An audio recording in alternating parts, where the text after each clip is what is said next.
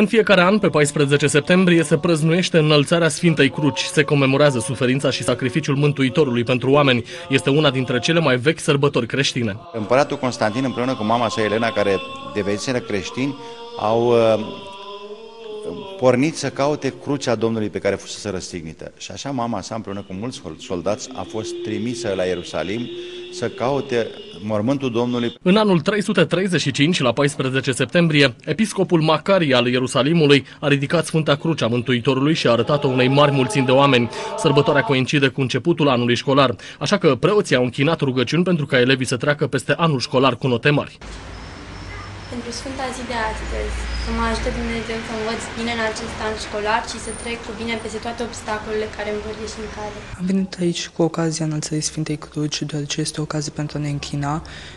Mai ales eu participând și la Olimpiade, sper ca prin aceasta să pot fi ajutat. Ieri a început anul școlar, iar astăzi am fost prima zi în care am făcut ore.